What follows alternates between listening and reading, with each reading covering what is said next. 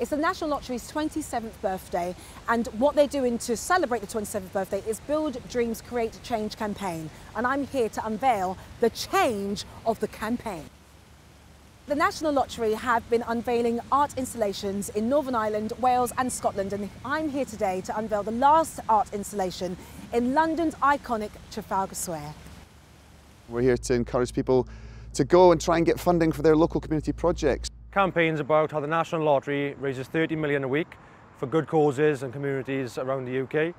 This art installation is actually made of 636 National Lottery balls, which represent 636,000 beneficiaries that the National Lottery have helped over the past 27 years. The props represent some of the community projects that the National Lottery has funded, for example, the arts or sports. Well, I think the lottery funding is important. Personally, you know, it changed my life, and you know, you can't overstate the importance of the funding in, in sport.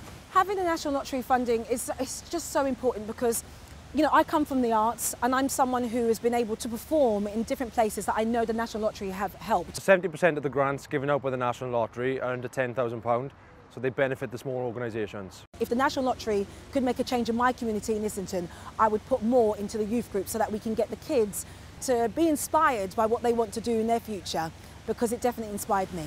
If people want to apply for funding, you go to the National Lottery Good Causes page and search for funding. So here's to the next 27 years. National Lottery, you're doing amazing things.